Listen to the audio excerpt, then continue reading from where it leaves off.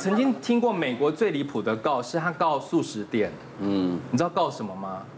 因为你们的炸鸡太香了，让我吃很多，我变那么胖，所以我要告你。后来还成立耶，好荒谬哦！所以我们我在想，应该就是幸运之神眷顾我，然后冒没有让我想起去告纽约市政府。是以前我们一个女王蜂陆一蝉嘛，对，陆一蝉她就是走在美国的，好像是类似像呃麦当劳这种店啊，嗯，在门口滑倒，门牙断两颗哦，结果告诉讼赔赔了两百万美金。哇可是那段时间他不能工作，他他其实可以工作，他就不能工作，嗯，就一直打这个官司，打了两百万美金。打了多长时间？我我我大概要一年时间吧。哇，像那个医院没事打什么蜡，那个摔下去不得了了，真的对。其实还是有一些幸运的事情会发生啦。我我自己有认识一个学长，学长平常就是像陈慕容医师一样憨厚老实啊，然后看起来就是非常的中肯这样子，那你就觉得是一个很老实的学长。那学长有一次就是他说他要这个买一个店面，他准备要开诊所哈。那其实诊所的开立。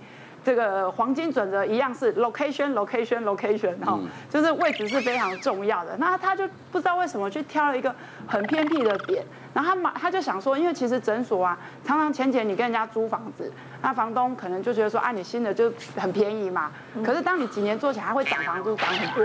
所以我这个学长说，我必须要有远见，他就直接买一个店面。好，可是他买那个店面呢，地点偏僻就算，还是一个四十年很老的房子。我们想说，天哪！你买一个这么偏僻的点，用四十年的老房子，然后问他买多少钱，我们大家都惊呆了哈，因为就是觉得他应该是被骗。那他就说啊，没关系，没关系，和气生财哦。那呃，我们就想说这关这就继续看下去，就哎，这个幸运之神真的很眷顾他。那个什么，就是鸟不拉屎的一个偏僻的点，然后他们那一区啊，就是从化，然后还都跟学长，因此他赚了一倍。哦，对，所以呢，我们想，就大家就想说，哇塞，真的是随便买随便种。然后他因为那个赚了蛮多钱，他那个要都跟就是就会卡掉嘛，所以他还去全家去美国度假一个月这样子。爽，这让我想到以前我们在大陆听到一个故事，就是说那个当时在改革，一直在开放，一直在改革嘛，建设，嗯，就是有人只想买一块地来养猪，结果买到一块地之后呢，政府就征收了，嗯，高价征收，他又要都市计划，他又去买另外一块地。就这样搞了三四次，他都养不了猪。嗯，他从几百万变几亿身家。哇！最后他就翻脸说：“你到底让让不让我养猪？”养。有的人就有这个命啊，就买到哪里就发到哪里的，也有这种的。哇！对，我一直认为神医要具备两个要件，医术好是基本的，另外一个就是你的运气一定要很好。嗯。哎，之前我就有个病人哦，他来找我，他十几岁一个男性哦，他进来找我，他就愁眉苦脸，他就跟我说。哎，江医师，你是我最后的希望。其实我最讨厌听到这句话，因为我就会知道说完蛋，他的病一定是那种很严重，就是没有什么问题的病才会这样子讲。哎，我就说怎么了嘛？他说我已经看过很多医生，哦，这个困题已经困扰我两年多了，哦，都没有办法解决。我就说那你到底是什么病？他说他左上腹会痛。我想说啊，左上腹没有东西，你知道吗？我们这边胃在中间，这边只有脾脏。然后大肠的地方大概也不在那里，所以什么胃痛啊，也不是痛左上腹，胃痛的话是痛中间或是右上腹。嗯，肝肝胆的通通在右边，其实左边真的没有什么东西。我说，请问一下，你看过哪些科？他说胃肠科看过了，嗯，加 A 科也看过了，心脏科也看过了。因为他想说这边是不是心肌梗塞，心肌梗塞他也看过了。我说那你大概做过哪些检查？他说哦，胃镜做过了，大肠镜也做过了。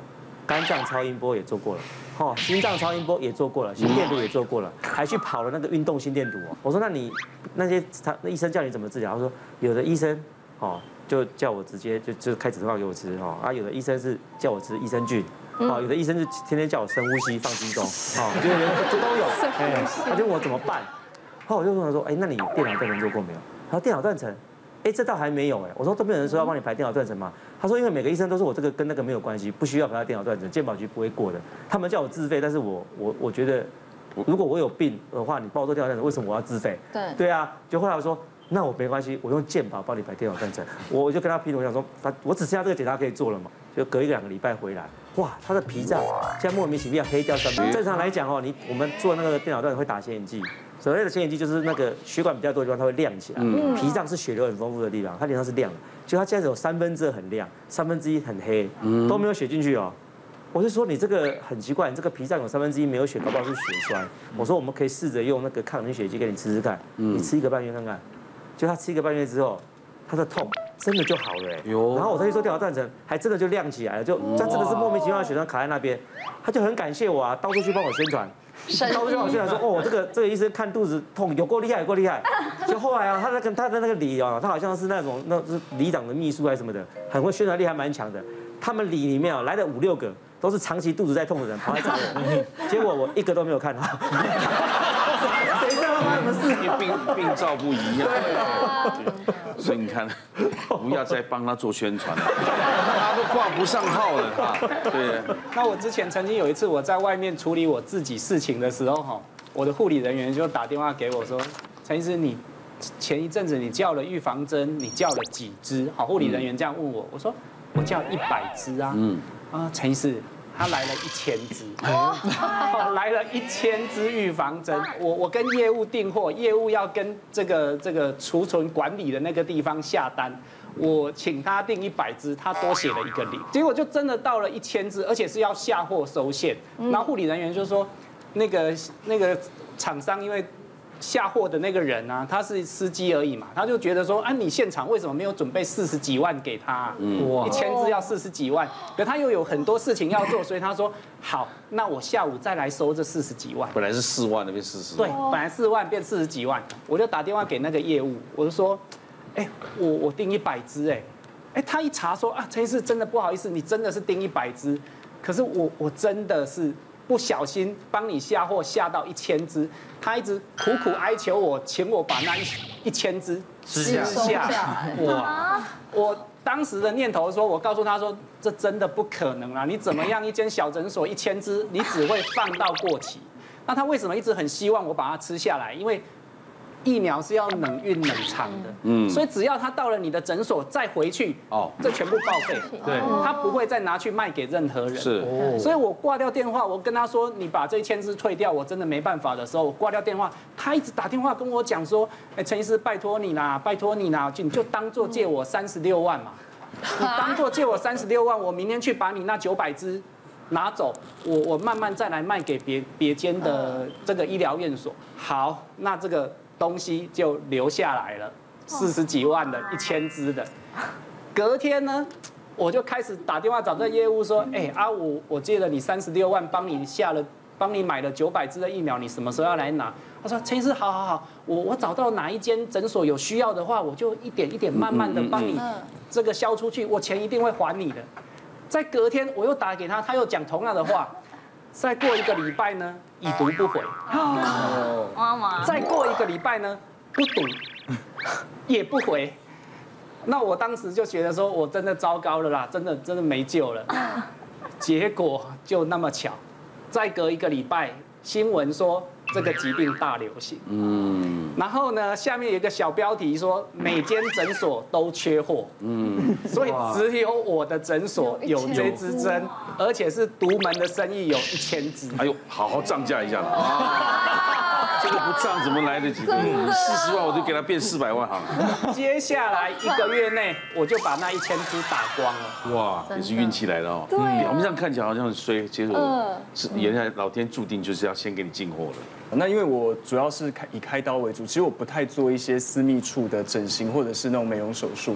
那刚好就有一个病人，他是开我开完子宫肌瘤回来，那他说，因为他生完之后一直都有漏尿的状况，他看我们哎医院有个看板说阴道镭射看起来对这个部分有改善的效果，他说我想要试看看。那我跟他说这个自费很贵，要一万多块这样子，他说没关系，我们就试看看这样子。打完之后他回去。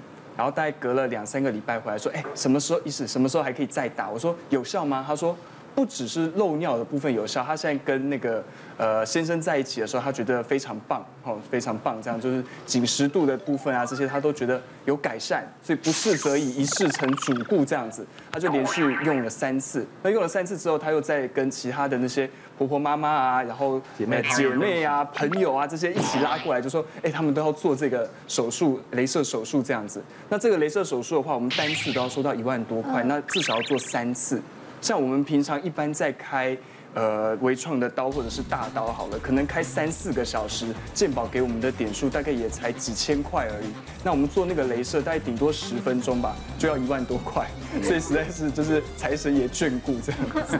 你看我们人一生当中啊，不可能都只有坏运没有好运，也不可能只有好运没有坏运嘛，就有好也有坏。碰到好运我们心存感恩，碰到不好我们当做学习。对，对，希望今后的日子大家呢随时都在感恩。好，谢谢大家。